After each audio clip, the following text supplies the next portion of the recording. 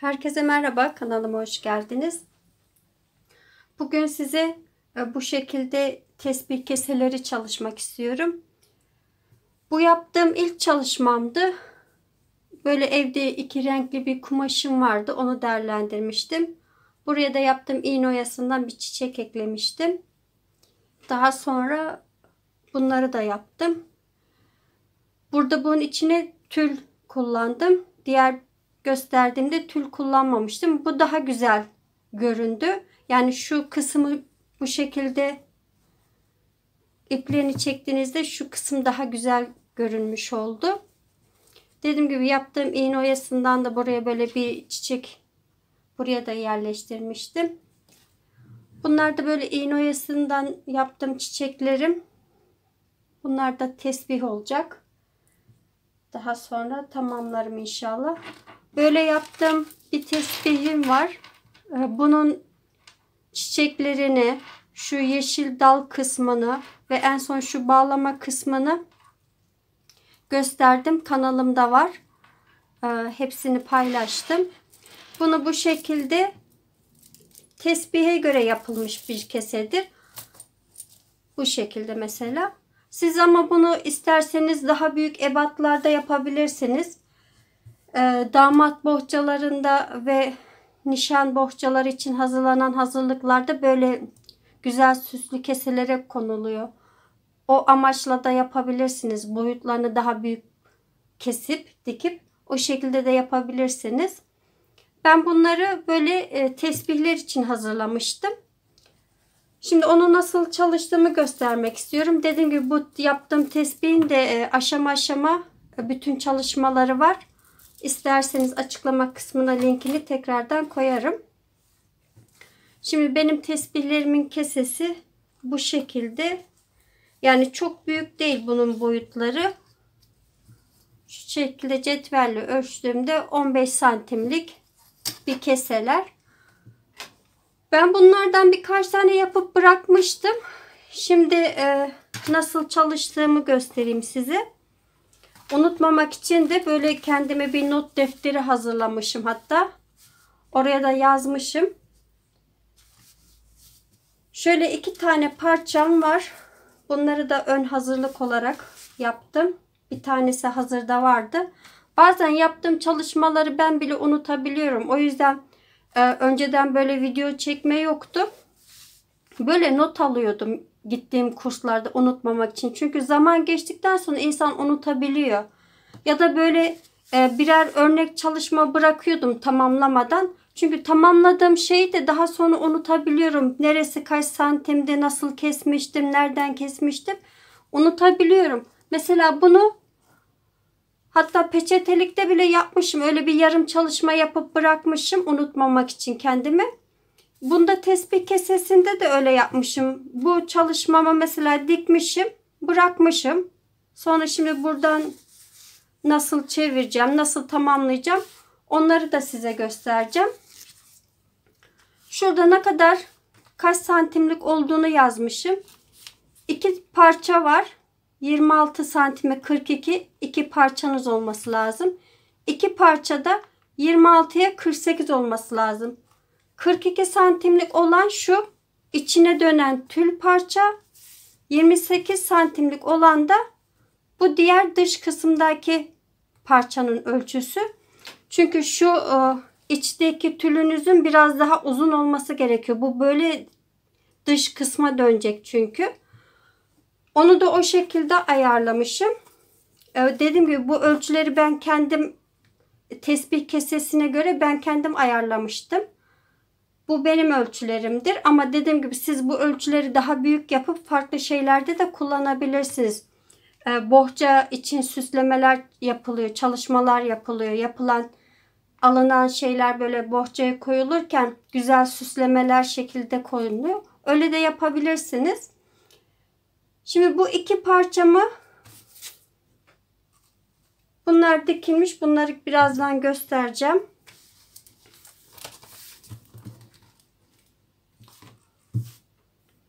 Şimdi şurada iki parçam tülüm var. Dediğim gibi bunun biraz daha uzun olması gerekiyor.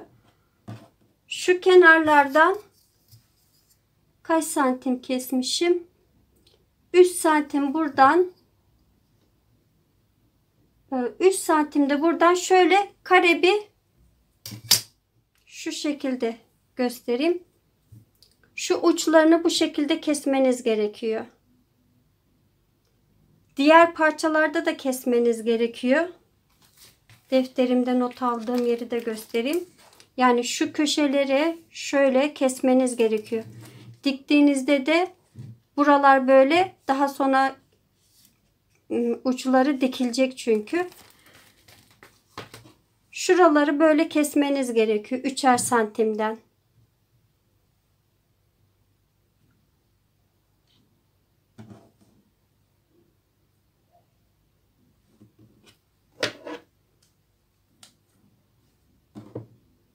Şimdi ben diğer parçasını da keseyim bunun.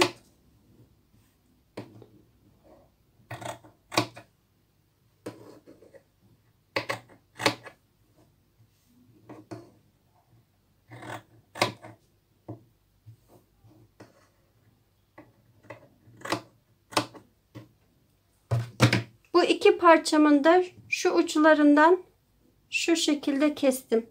Aynı ölçüde olması gerekiyor buraların. Böyle.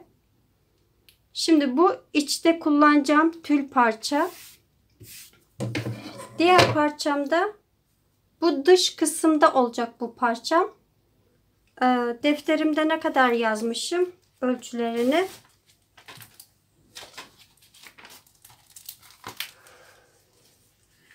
Bu 26 santimse eni aynı olması gerekiyor.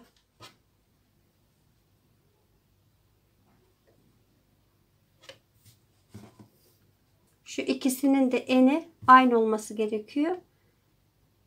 En bunda yeterli. Şimdi bunu ikiye keseceğim. Bundan da çünkü iki parça olması gerekiyor.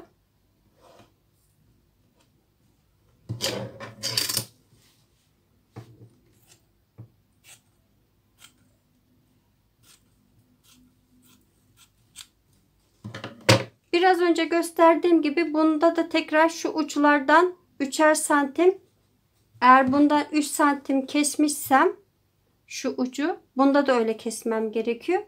Şimdi bu kesim işlerini de ben halledeyim. Birazdan nasıl dikmem gerektiğini göstereceğim size. Bu iki parçamı da kestim. Ee, eflatun rengi ve krem rengi olan parçalarımı e, düz yüzleri içe gelecek şekilde ikisini birbirinden böyle üzerlerinden dikeceğim. Birbirine ekleyeceğim. Yani şu kısımlar olmuş olacak. Şurası.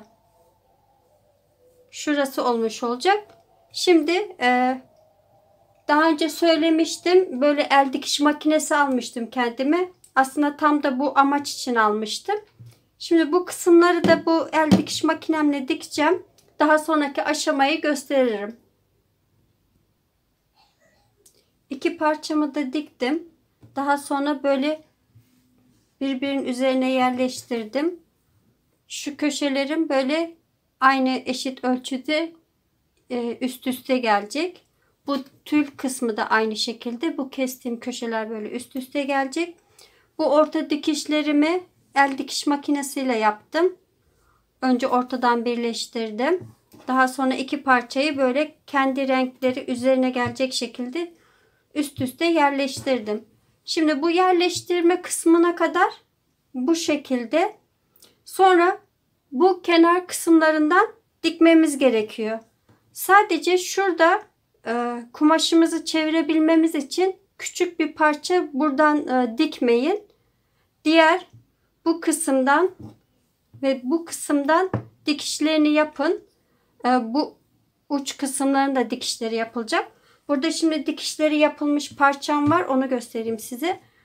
Burayı dikmişim. Burayı da dikmişim. Bu iki yanı da dikmişim. Şu uçları. Overlock makinem bozuldu. Hatta şu kenarlarını overlock çekmişim. Burada var. Burada yok hatta. Overlock makinemde arıza çıktı. Bu kenarı da dikmişim. Sadece söylediğim gibi şuradaki bir parça yeri dikmemişim. Çünkü buradan kumaşımı çevirmem gerekiyor. Şimdi yapmanız gereken Şuradaki kenar kısmı bu şekilde açıp şöyle tam dikişleri üst üste gelecek şekilde şu diktiğiniz yerde böyle elinizle iki katını açın. Dikişiniz daha güzel görünür. Bu kısımları böyle bu şekilde dikmemiz gerekiyor. Şimdi toplu iğneyle iğneleyeyim.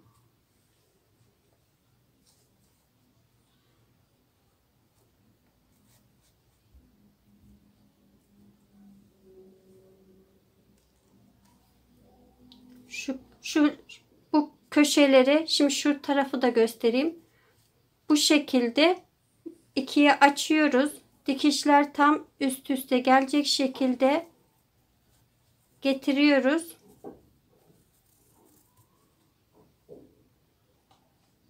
Daha sonra bu küçük yerleri isterseniz elinizle dikin. İsterseniz e, benim gibi el dikiş makineniz varsa öyle de dikebilirsiniz. Bu köşeler şu kısımlar olacak yani. Şu dikilen yerler olmuş olacak. Şimdi o dikişlerini de yapıp nasıl çevrildiğini göstereceğim size. Bu köşe dikişlerimi de yaptım. Biraz önceki gösterdiğim gibi bu şekilde üst üste getirip bu köşe dikişlerimi de yaptım.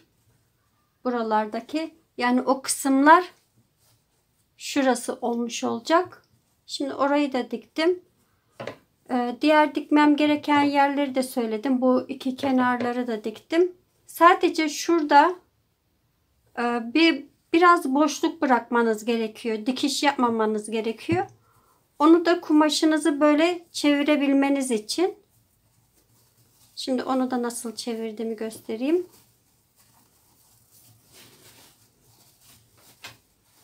Bu şekilde dikişleri içe gelmiş olacak. Ee, çok temiz görünüyor yaptığınız keseler. Şimdi bitmiş son halinde göstereceğim size. Şimdi bu tül olan kısım bu da normal bu kumaş olan kısım yani şu dış kısım bu tül olan kısmı bu şekilde içe koyacağız yerleştireceğiz.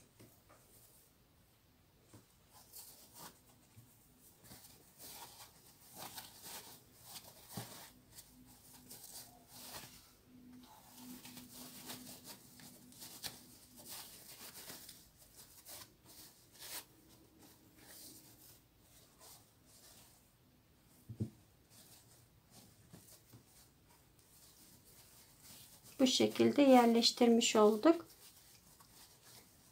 Bakın böyle olmuş olacak. Yaptığınız dikişi biraz ütüyle çalışırsanız daha güzel görünür.